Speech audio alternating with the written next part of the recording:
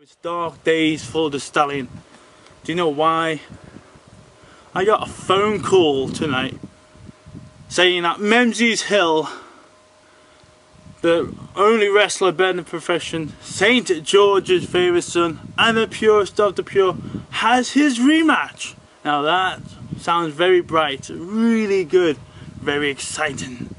But then they again shot me down with a stipulation.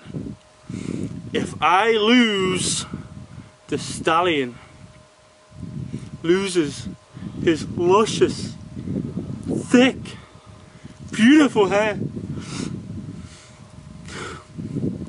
Well, that won't happen. Do you know why I said yes straight away? From a blink of an eye, I said yes. Why? Because this stallion is confident and ready, and he's gonna beat Johnny Lyons. Maybe third time lucky, but I will do it. The only wrestler better than profession, St. George's favourite son, the purest of the pure, will be your next future division champion.